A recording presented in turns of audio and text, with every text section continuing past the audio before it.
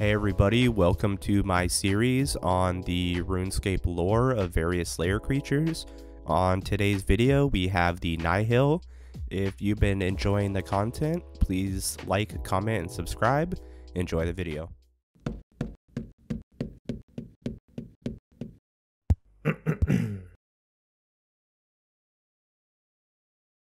RuneScape lore Slayer creatures Chapter 3 Nihil Our story starts with the race known as the Illujanka, where at an unknown point in time before the arrival of the Empty Lord, Lord Zaros, the anima on their planet Aiea changed from pure to pristine. This unexpected switch, in turn, caused their race to start rejecting its life force and resulting in a drastically reduced birth rate. Since the Illujanka were but peaceful beings, farming and crafting per usual, they did not know what had afflicted them and were unable to discover the cause. Just as they were teetering on the verge of desperation, their settlement was approached by Zaros himself, in the form of a shadowy man. He offered them a cure for their infertility if only they agreed to accompany him from their world to his, Gielinor. Faced with an impossible situation, the Illujanka had no choice but to trust him. With new hope now in their hearts, they crossed the threshold of the portal. There was no turning back. The Nihil were created as part of Zaros' attempt to combat the infertility of the Illujanka by manipulating and weaving around their living essence. Zaros did not have enough power to manipulate their essence and restore their ability to procreate, though. So he returned to Freneskae to harvest energy from his creator, the elder god Mah. One of the earliest known, if not the very first subject, who claims to have been brutally tortured in the depths of Freneskae by Zaros, goes by the name of the Fallen Nihil, a creature of enormous size and increased intelligence, and the only known Nihil to be of the male sex. Almost nothing is known about the Fallen Nihil, other than that he eventually came into the service of the Queen of Ashes an extremely powerful and intense goddess, rivaling the stature of Bandos, Tuska, and even Zautok, according to V, first mentioned during the hero's welcome quest.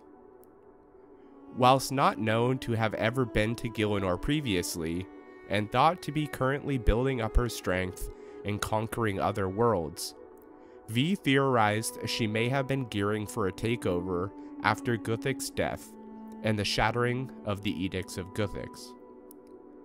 Sometime during the Sixth Age, the Queen of Ashes became interested in the Lumbridge crater during the celebration of fire event being held there.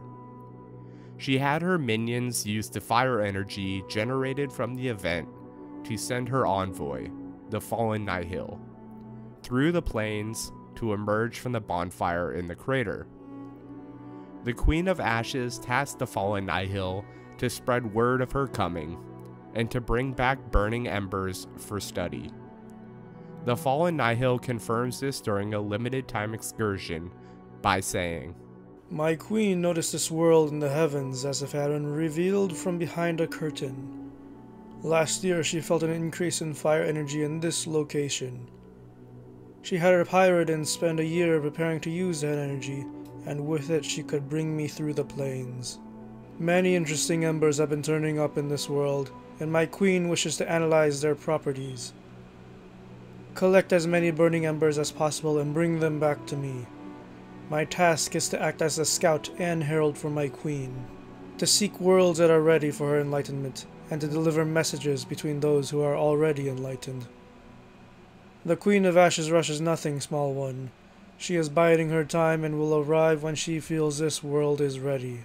However, as of the quest aftermath, the edicts have since been re-established without the Queen of Ashes ever appearing, but we will see what the future holds.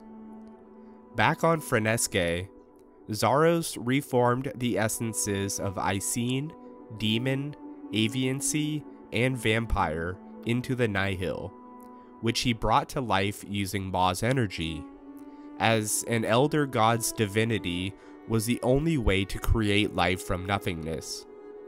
Since Zaros required Mah's energy to give life to the Nihil, he considered them, and himself, a failure, wallowing in self pity that his own powers were deemed unreliable. Not all was lost though for Zaros, as one Nihil did rise to power. Zaros says, One of these Nihil, originally shunned, has fast outgrown the rest. I have chosen to uplift her. To do so, I had to implant a small sliver of my being. The irony of this is not lost on me.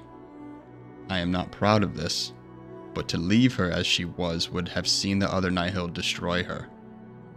With her newfound sentience, she named herself Nex in the old infernal tongue. Her speed and capability for learning are astounding. Although Nex will prove useful in bringing unity to the world, this entire experiment has only gone to prove my unworthiness. Although Nex would prove to be one of Zaros's most powerful and loyal servants, that will be a video for another time. What happened to the Nihil on Freneskae after Zaros abandoned them is still largely unknown, but one thing is for sure they are still down there in limbo. That, guys, is the origins of the Nihil. If you enjoyed it, stick around for the next video on the Phoenix. Thank you to JDV, who voiced Zaros, and ACPL, who voiced the Fallen Nihil. RuneScape. Forever.